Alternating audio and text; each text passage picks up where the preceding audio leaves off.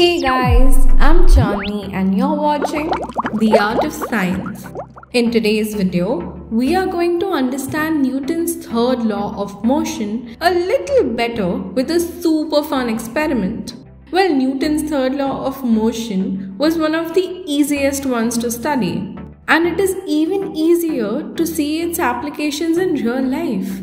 If you want to know more about where Newton's third law is used in our daily lives, check out our explainer video that's linked up here in the description box below and in the end screen as well.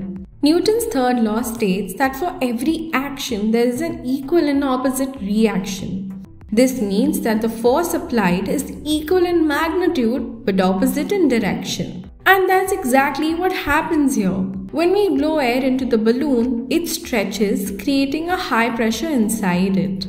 When we release the balloon, the balloon contracts rapidly as it pushes the air out with force. Newton's third law comes into action here. So the force of air coming out in one direction propels the balloon stuck on the car in the opposite direction. And that's how these fun balloon cars work. Hope you liked today's video and we'll see you next week.